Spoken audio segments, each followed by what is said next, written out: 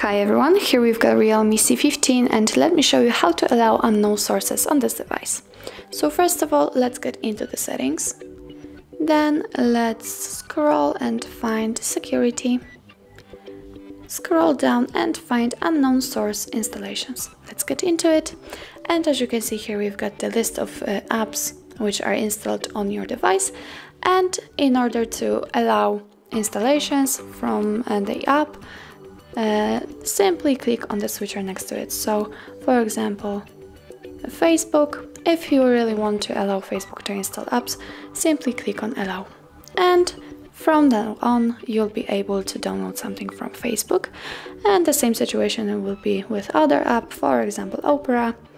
Then let's choose it and allow. And from now on, you can download content from the Opera. To turn it off, simply click on the switcher again and now it is disabled. So that's all. This is how you allow unknown sources in your Realme C15 and if you find that this video was helpful please hit the subscribe button and leave the thumbs up.